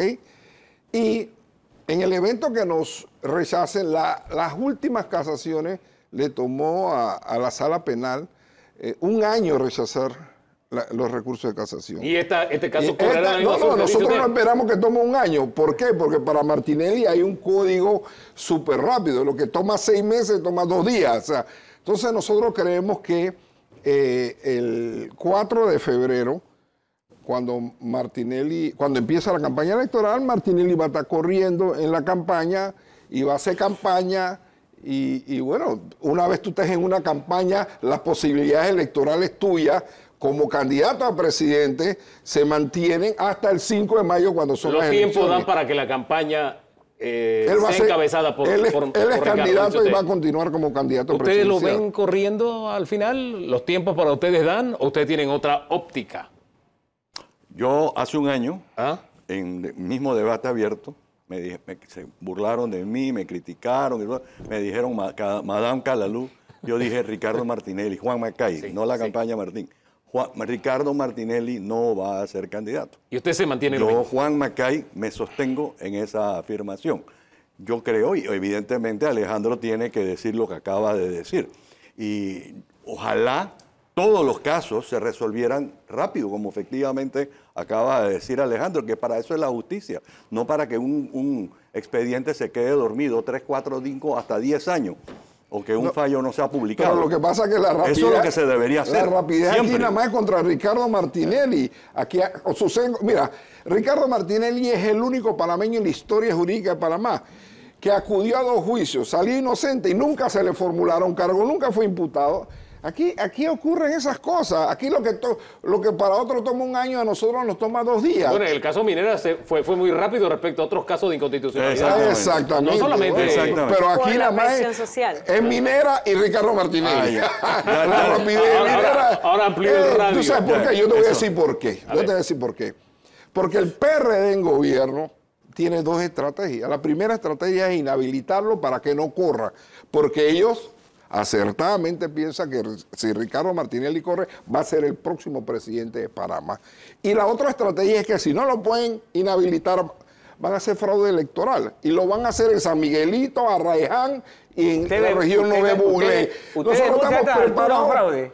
Nosotros estamos preparados para todos esos escenarios. La digo- campaña de Ricardo Martinelli está preparada para todos esos tan escenarios. temprano como a esta fecha usted ve venir un fraude. Pero si sabemos quiénes han llegado a orquestarlo.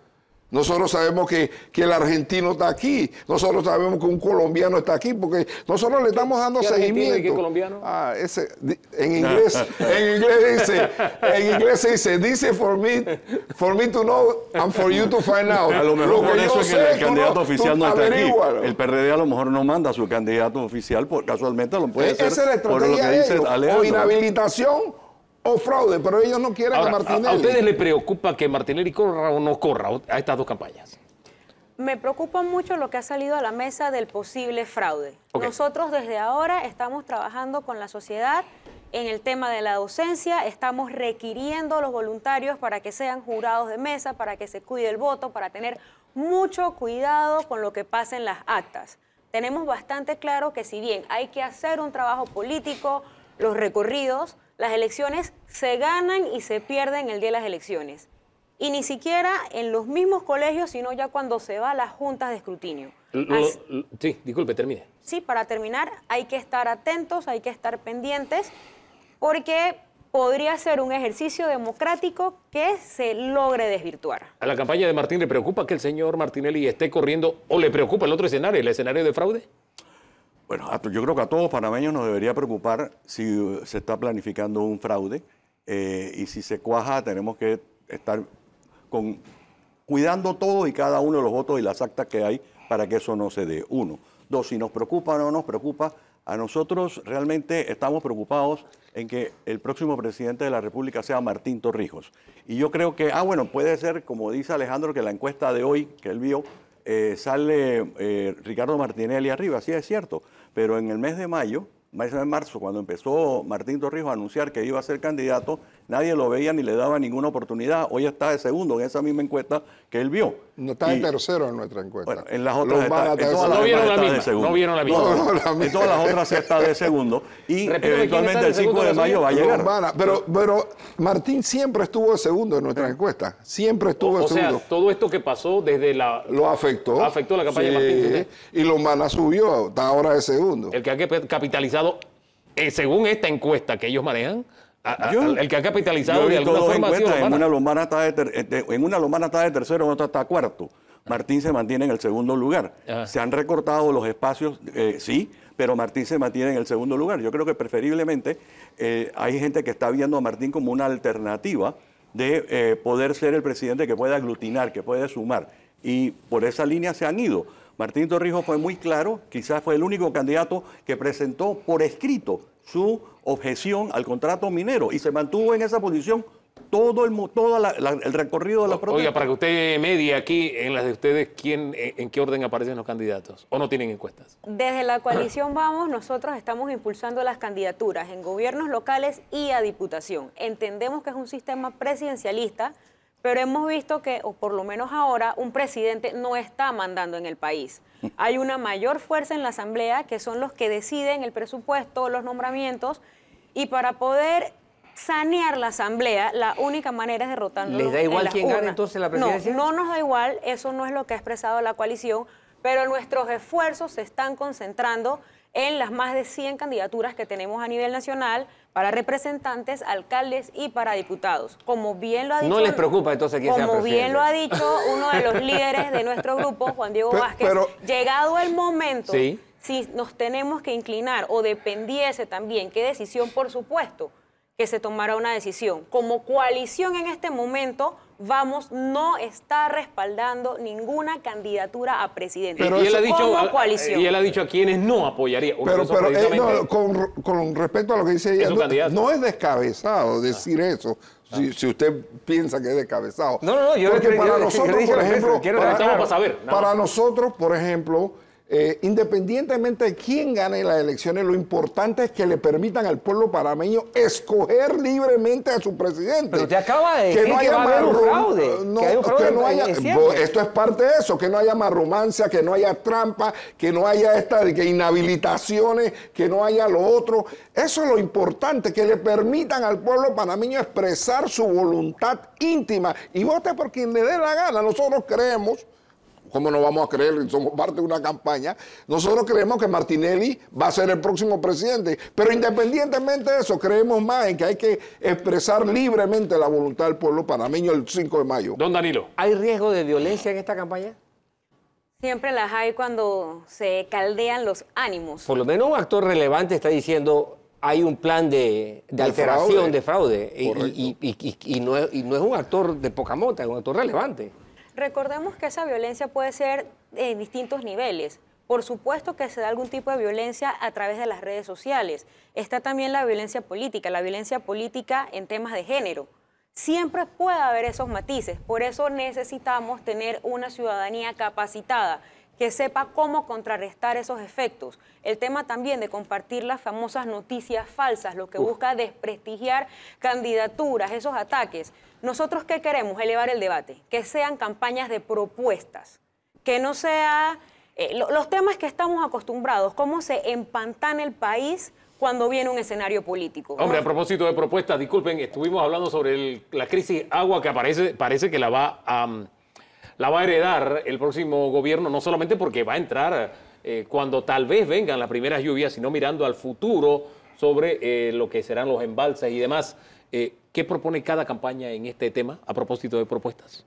Recordemos que estamos en veda hasta el 4 de febrero. Sí. Por lo menos, en mi caso como candidata, tenemos que cuidarnos de qué estamos diciendo que se Sí. va a hacer, porque a partir del 4 de febrero es que abiertamente se pueden brindar las Pero por lo menos de manera personal, ¿no? Pueden plane- plantear qué hacer, porque tenemos un tema IDAN, tenemos un tema te- Canal de Panamá que está en Yo crisis. te digo la A posición, ver. La posición de, de- de muchos miembros de mi partido. A ver. Nosotros tenemos que reestructurar radicalmente el IDAN. No es posible que tengamos una potabilizadora allá en Chilibre y en Chilibre no hay agua. Eso no es posible. No es posible que haya negocios de diputados y de otra gente vendiendo agua y que no le interesa resolver el problema del agua en el circuito esto de Mayanita, Tocumen. Entonces hay que reestructurar eso. Y tú, ustedes hicieron una pregunta clave. ¿Cómo cobramos el agua? Ese, yo creo que esa es la clave de la reestructuración del IDAN. ¿Cómo la Señor? Yo lo que creo que tenemos que irnos más allá de la politiquería. No podemos sencillamente decir es que vamos a tener un plan para porque necesito ganar los votos. Nosotros tenemos unas dos comisiones que están en eh, trabajando todo lo que es recursos hídricos para buscar las soluciones. No las podemos anunciar, no solamente por el, el- el veto, sino porque nos están escuchando la otra campaña, a lo mejor se... se Pero yo creo que es una interpretación inexacta porque lo, lo prohibido es la propaganda.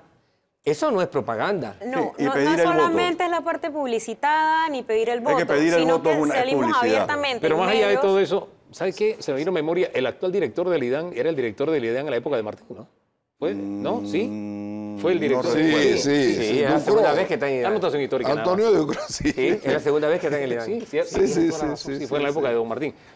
Solamente apu- a- a- apuntes históricos. Gracias por habernos acompañado esta mañana a los Gracias dos. a ustedes. Vamos a una pausa y en segundos regresamos con una visión país para cerrar el programa de hoy, la que tiene Rodrigo Noriega. Ahí abordaremos el tema también de don Ricardo Martinelli. En segundos.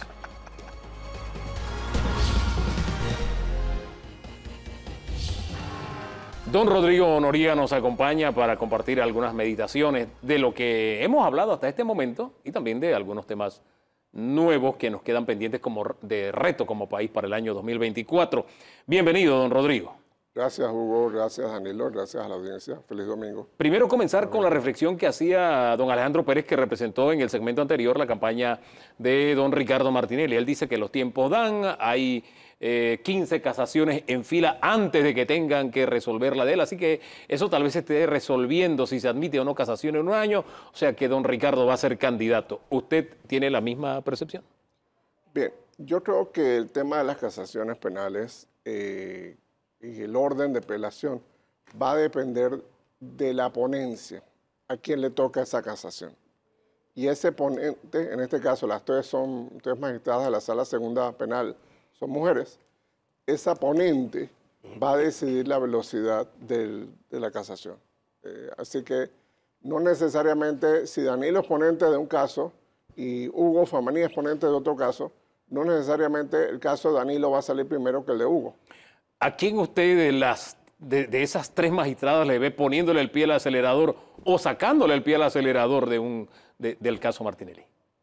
Eh, yo pienso que va a ser la magistrada presidenta de la Corte la que sea la ponente del caso. Y si es ella, le aprieta el pie al Si acelerador. ella ya puede hacer lo mismo que pasó con el fallo de inconstitucionalidad del contrato minero, pueden declarar una sesión permanente y estudian eso el tiempo que sea necesario para producir un fallo. Ahora bien, también quedó patente la posibilidad de, de- de varios escenarios. Uno, incluso de un fraude. ¿Usted ve en el escenario un fraude electoral para las próximas elecciones? No, por supuesto que no. Eh, entendamos una cosa, en Panamá los votos no los cuenta el gobierno, los cuenta la Junta Nacional de Escrutinio y las juntas circuitales y la Junta Provincial de Escrutinio. O sea, lo, lo cuenta sociedad civil con una diversidad de actores. El Tribunal Electoral garantiza la pureza del sufragio, muy entre comillas esa palabra pureza, y eh, los partidos políticos, la sociedad civil, los movimientos como Movimiento Vamos y otros que, están, que han recogido firmas, van a ser vigilantes también de sus votos. O sea que hay una diversidad de actores que en principio para que hubiera un fraude tendrían que ponerse de acuerdo y no creo que se vayan a poner de acuerdo justo el día de las elecciones para cometer un fraude electoral. Don Danilo. Doctor Noriega, soy del parecer que eh, los eventos en torno a la, minería, a la minera en Panamá causaron un- una especie de, de- de terremoto político para varios actores. Se les movió el piso a varios de los actores que están disputándose la presidencia de la República. ¿Cree usted que esto que acabamos de pasar en el país efectivamente descartó, descalificó a estas alturas a algunos de los competidores por la presidencia de la República? Ok. El movimiento de protesta contra la minería metálica cielo abierto en Panamá fue un terremoto con tsunami. Eh, electoralmente debe producir algún tipo de voto de castigo. Yo descartaría, por ejemplo, al candidato gubernamental eh, José Gabriel Carrizo. Para mí el- es muy difícil en Panamá que se repita un gobierno y mucho menos con tanto eh, op- opinión pública en contra. Pero afecta también a candidatos de oposición como Rómulo Rux, candidatos como Melitona Rocha, eh, que tienen más o menos un tinte minero.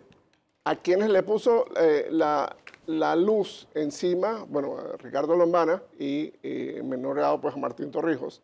Y creo que también le resta apoyo a Ricardo Martinelli. Aunque Martinelli cuenta con un apoyo, digamos, un voto duro, creo que el tema minero exaltó unas ciertas diferencias entre la cultura de la clase política y la nueva clase política emergente en Panamá. A propósito de voto duro, aunque usted descarta que el, al candidato presidencial oficial, ellos están apostando al voto duro. Eh, siempre hablan de los 700 mil inscritos, de los 400 mil, más de 400 mil que fueron a la primaria, y ellos se dan por ganadores. ¿Esa métrica le da a usted también o, ese voto duro no es tan duro? Bien. Eh, el voto duro no es tan duro porque lo vemos en un solo dato. Todos los meses están renunciando miles de personas al PRD. Ni siquiera han perdido la elección, ni siquiera hemos tenido la elección y ya están renunciando al PRD, miles de personas. Primera señal. Segunda señal, eh, las encuestas de carne y hueso. En la calle, la molestia ciudadana es altísima. Esto es una- un barril de pólvora y cualquier cosa puede hacer que explote. Eh, así que yo no creo que haya la posibilidad de repetición, sobre todo si hay tres candidatos del PRD. Martín Torrijos, Zulay Rodríguez y José Gabriel Carrizo. Entonces, si hay tres candidatos para el mismo partido y el POT, o sea, la, la olla de la cual van a sacar 750 mil, 800 mil votos, es la misma, eso, eso lo pone más difícil. ¿Qué- ¿Cree usted que el PRD hizo implosión? La ha venido haciendo en cámara lenta. La ha venido haciendo en cámara lenta desde aquellas peleas entre Balvin Herrera y, y Juan Carlos Navarro. El PRD ha venido una implosión en cámara lenta. Pero fíjese que allí donde está sentado usted, eh, comentaba don José Stott la semana pasada haciendo un análisis, que el gran mérito de esta administración será la desaparición del PRD. ¿Da para tanto o no? El gran mérito de esta administración Sería firmar la desaparición del PRD. no me ¿Da para a decir- tanto o no? No me atrevería a decir eso. Yo creo que el gran mérito de la administración de Laurentino Cortizo es el órgano judicial, que ha sido totalmente sistémico.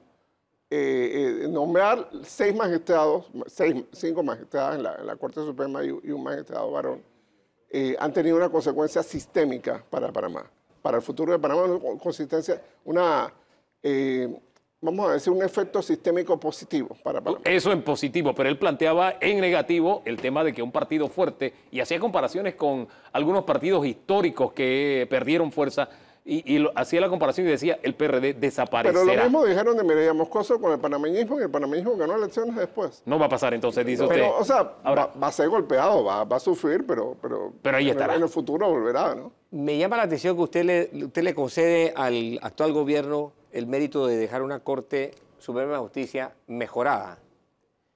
Pero mi pregunta es, eso que, la, eso que se reclama en muchos sectores como el gran triunfo que representa el fallo que se dio contra la minera, tampoco, no, no- le parece, si, si le parece, pues igual me lo dice, que tiene el riesgo de que fue un fallo bajo presión y que eso también tendrá un costo para la propia justicia que se practica en Panamá? Ok, bien, voy a explicar un concepto que creo que mucha gente eh, confunde. La calle, la protesta en la calle, las vigilias, no consiguieron el fallo de inconstitucionalidad. Ya la Corte Suprema de Justicia tenía dos fallos de inconstitucionalidad unánimes, 2017 y 2021, contra el contrato minero anterior. O sea que ya había una tradición de votar de forma unánime que los contratos mineros eran inconstitucionales. Lo que consiguió la calle, la protesta minera, fue que la Corte se declarara en sesión permanente, es decir, acelerar el tiempo para emitir el fallo, pero no cambió las opiniones. Eso Las fue lo que le metió el pie al acelerador Sí. para utilizar la misma figura de hace un rato. Las opiniones ya estaban establecidas. Ya la Corte había dicho en dos ocasiones distintas, en una de estas, en junio del 2021, ocho de los actuales nueve magistrados habían dicho este contrato es inconstitucional y, por, y se mantiene la decisión del 2017. O sea que no cambiaron la opinión, sino que aceleraron la emisión de dicha opinión. Hablábamos también hace un rato eh, en los debates políticos sobre el capital político de esta administración. Con- entró con una tercera parte de los votos y que muy probablemente el próximo gobierno también enfrente una realidad como esa. ¿Qué hacer para poder gobernar un país que ha demostrado, como decía Walkiria, donde todo el mundo cuenta, donde todo el mundo opina? ¿Qué hacer? ¿Gobierno de unidad nacional es posible o estamos hablando de simplemente un sueño, una quimera? Bien, eh, el gobierno de Ernesto Pérez Valladares, del cual yo fui parte, llegó al poder con un tercio de los votos y gobernó. Si alguien tiene la duda, digo, gobernó. Eh, creo que salvo el gobierno de Ricardo Martinelli, ningún gobierno en, en pos eh, Guillermo Andara ha tenido mayoría de votos en, en las urnas. Eh, Juan Carlos Varela tuvo 38% y gobernó. Entonces, eh, el tema de gobernabilidad lo perdió este gobierno porque danzó con la Asamblea Nacional. No quiso enfrentarse realmente al poder dentro del PRD, que es el poder de la Asamblea Nacional. Benicio Robinson y eh, su, camarilla, su círculo cero dentro de la Asamblea Nacional, impusieron la agenda del gobierno. Pero ciertamente Pérez tuvo un gobierno que desbordó, traspasó los límites del PRD. Él convocó a gente que no era del PRD. Este gobierno se, se- eh, dio pues, señales contundentes de ensimismarse. Totalmente, totalmente. Desde el momento en que el presidente Cortizo escogió a José Gabriel Carrizo de vicepresidente, se encerró. Se encerró en una definición de, de que esto es un tema de PRD y, pudo haber escogido un mejor vicepresidente o vicepresidenta que hubiera cambiado todo el tenor y todo el tono de su gobierno. Eh, pero mira, también ha pasado con los candidatos del PRD. Lo vemos, por ejemplo, el candidato Torrijos escogió una PRD, Rosario Torden. La candidata Soler Rodríguez escogió otra PRD, y la señora Atanasiadis. Entonces, PRD va con PRD.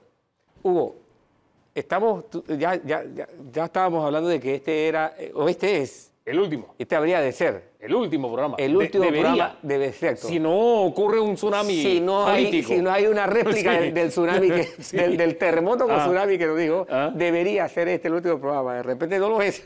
Cuidado. Exacto. En todo caso, de serlo, para usted, ¿cuál ha sido la noticia del año en el mundo político panameño, en el aspecto político? Tenemos una Corte Suprema de Justicia que es capaz de decidir los conflictos más importantes de esta sociedad. Esa es para usted la gran noticia de este año y lo ha demostrado con hechos. Ahora bien, miremos a futuro. Eh, no salió al aire, me parece. Creo que hablamos del tema de la posibilidad de violencia. Ah, no, sí se habló. Se habló de la posibilidad de violencia en las próximas elecciones. y, y- y- y no profundizamos en ese tema, lo profundizo con usted. Si tiene el mismo temor, recordemos que en ese terremoto con tsunami del que usted hablaba, hubo un sector donde hubo mucha intolerancia, donde hubo descalificaciones a quienes no pensaban como ellos. Hombre, hubo cinco muertos, no nos olvidemos de, sí, ese, sí, de sí. ese detalle. Eh, si eso nosotros lo proyectamos a las elecciones, al próximo torneo electoral, ¿le embarga a usted algún temor? A mí me preocupa en el torneo electoral no el grupo de la izquierda eh, dogmática, me preocupa el crimen organizado, las bandas. Las bandas con las cuales diputados, diputadas, alcaldes, representantes de corregimiento han hecho pactos inmencionables y que estas bandas teman por el tsunami eh, con terremoto que vayan a perder el poder local, porque ellas dominan comunidades. Eh, el representante la representante de corregimiento es clave para, para el futuro de estas bandas porque controla la acción del gobierno, les da espacio para, para sus actividades y perder representantes de corregimiento o perder eh, alcaldes o alcaldesas o perder diputados o diputadas, eh, a esas bandas las dejaría muy vulnerables mi temor es por ese lado, que, que el crimen organizado se manifieste más en esta próxima Eh, eh, elección. El, crimen organizado de forma local, disculpe, don Danilo, como usted lo plantea, de bandas, o, o estamos hablando del fenómeno narcopolítica? Narcopolítica, narcopolítica. Don Danilo. Eso, eso que ha señalado me llama mucho la atención, mucho, mucho, mucho. Quiero ponérselo, en, quiero ver un matiz de prioridad. ¿Ha visto usted que el crimen organizado se ha politizado o que la política partidista se ha criminalizado? ¿Cuál de las dos cosas escogería? Las dos cosas. ¿Las Las dos dos- cosas dos al mismo tiempo? Los dos fenómenos al mismo tiempo. Vemos lo que ha pasado en San Miguelito, por ejemplo. Eh, precandidatos o, o- o incluso representantes de corregimiento del PRD pues, han sido asesinados en, en- en condiciones muy, muy sospechosas y muy, muy difíciles de procesar para la sociedad civil, para la opinión pública. Lo mismo ha pasado en Panamá Este, con, en este caso con, con candidatos eh, o candidatas vinculadas pues, al- a la esfera eh, eh, eh, local que, que cuestionaban pues, cierta hegemonía de cierto liderazgo del panameñismo en esa zona. Entonces, eh, estamos hablando de dos partidos importantes en este país que tienen ciertos conflictos con el tema del crimen organizado. ¿Este es un hecho inevitable o el sistema puede, ser, puede hacer algo para inmunizarse ante este fenómeno? Bien, si los votantes y las votantes deciden el 5 de mayo del 2024 mandar un mensaje de no, no a la corrupción, no al crimen organizado, no al clientelismo, esto es totalmente evitable y controlable. Si en cambio los votantes y las votantes se prestan al juego de los 20 dólares, de la bolsa de comidas, de llévame en bus, aunque yo ya no vivo ahí, pero yo voy a votar allá, entonces llévame en bus para allá, sí, sí se puede dar un conflicto importante. Ahora bien, eh, hemos estado hablando también en este programa y creo que es una buena forma de rematar con su análisis los grandes retos que están en el tapete. Uno de ellos es que nos sorprende el próximo año con una estación seca prolongada Sí. que está, va a afectar o va a tener su efecto en el agua para consumo humano, pero también ya lo tiene en nuestra gallina de los huevos de oro, que es el canal de Panamá. Un problema que va a tener que administrar el próximo gobierno también mirando hacia el futuro. ¿Cuál es el mejor o peor escenario que usted eh, está presintiendo en este momento? E igualmente las campañas, si usted siente que están mirando este tema con ojos, con los ojos necesarios, que es ver un tema de Estado, o lo están viendo No, segmentadamente, no. políticamente. También es viendo un tema para atacar al gobierno y un tema para hacer política fácil. Sin embargo, el tema del agua es el tema fundamental para esta economía. La economía de Panamá depende en 70% de los servicios. Y estos servicios dependen en gran medida de que el canal de Panamá opere. Porque si los barcos se van para Suez, si los barcos se van para Magallanes, los puertos no tienen carga, la zona libre no recibe tantos, eh, tanto volumen de mercancía, eh, las compañías de seguro no venden tantos seguros, no se bajan tantos marinos y van a los hoteles, a, a los casinos, a los eh, sitios turísticos panameños, no se vende tanto combustible a los barcos que pasan por el canal y un largo, etcétera, etcétera, etcétera, etcétera.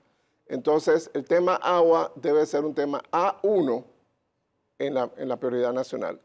Y el tema que enfrenta el canal de Panamá, nótese la situación.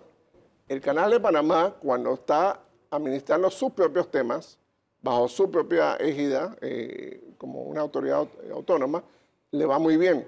Pero este tema del agua fue decidido en el año 2006, que se iba a retirar por un tema electoral, pues tenía que pasar el referéndum, pero no se volvió a establecer en cuatro gobiernos no se volvió a establecer el tema de los embalses para el Canal de Panamá como una prioridad nacional. Y se prefirió coquetear con la minería, concederle una cuenca importante, la, del río Cortlé del Norte a la minera, y eso redujo la viabilidad de un nuevo embalse. Básicamente el nuevo embalse sería Río Indio. El Río Indio son 10, 15 años de agua para el canal y en el año 2040, 45 volveríamos a tener el mismo problema y en ese momento pues la credibilidad de Panamá vuelve y cae en lo mismo. Entonces tenemos una oportunidad de oro, y aprovecho el metal, para decir, podemos asignar No el río Cortlé del Norte y el río Indio a un verdadero embalse para el canal de Panamá y para, para el área metropolitana, porque de ahí viene nuestra agua, y que sea un problema, una, una solución a un problema por los próximos 30, 40, 50 años. Aquí don Jorge Luis Quijano, comenzando el programa, decía hay que decantarse, decantarse por todas las cuencas del sector occidental, que esa sería la salida. Sí, sí, y convertir a los habitantes de esa zona en socios del canal de Panamá, no en víctimas, en socios. Así se apaciguaría el tema de los, eh, ¿cómo se llama el grupo de los campesinos? Movimiento. Movimiento de los campesinos que tiene toda la razón, Hugo. Si yo he vivido aquí por 70 años, mi familia ha vivido aquí por 70 años, tú me vas a dar mis 10 mil dólares y un camión para moverme, este, y yo es que voy a vivir con 10 mil Ah, dólares. Hay gente que no ha, lleg- hay gente que no ha vivido tantos años, que, que acaba de comprar en, Ah, en bueno. la cuenca, ¿no? Eh, Eso se puede investigar fácilmente. Ajá. Eso se puede Y que no, y, y varios de ellos no son, campesinos no son. Don Danilo. Varios incluso han, son- son- han sido funcionarios. Ahora, en el escenario electoral que está por venir, vamos a comenzar a, a- a ver cómo salen algunos, algunos tópicos interesantes. ¿Cree usted que temas de complejidad económica se convertirán en asuntos que la población asuman que se está jugando el pellejo, la vida y la muerte aquí? ¿A qué me refiero? Seguro social, déficit, me refiero a... a- a- Deuda. a- deuda. Sea, esas cosas le- le- va- van a pegar en, la, en la sensibilidad como pegó el asunto minero, y tengo que confesar, mucho más de lo que yo me esperaba. Mucho más de lo que yo esperaba también. Eh, yo creo que la elección del 5 de mayo del 2024 es un voto sobre la confianza en quién puede hacer mejor el cambio. Nótese, nótese el concepto. ¿Quién puede hacer mejor el cambio? Ese es el voto. Es el voto del 5 de mayo. Voy a confiar en que mi voto va a poner a una persona, no solo en la presidencia de la República, sino como diputado, como alcalde, como representante de corregimiento, que pueda hacer mejor el cambio. Dios quiera que hayamos, llegado a ese nivel de madurez porque implicaría que el compromiso ciudadano de cara a lo que se hace cada vez que se ejerce el voto de ese ejercicio eh, es mucho más grande de lo que hasta ahora el ciudadano ha visto. Eh, eh, siento que allí estaría el quiebre si realmente tenemos esa madurez. Me quedo con la posibilidad de que así sea. Quiero compartir también ese optimismo y cerrar con esa nota de optimismo este año. Gracias, don Rodrigo, por acompañarnos. A usted, Gracias. don Danilo, como Feliz siempre. Navidad, Hugo. Feliz Eh, Navidad, igual, igual, felicidades. Feliz Navidad y feliz año a todos. Felicidades a todos, gracias por prestigiarnos siempre con su compañía. El programa de hoy siempre disponible en redes y usted sabe a las 3 de la tarde completo en Eco TV. Y en lo que queda de hoy, pues sigamos haciendo el esfuerzo y nos regalamos el mejor fin de semana de nuestras vidas. ¿Le parece? Bendiciones.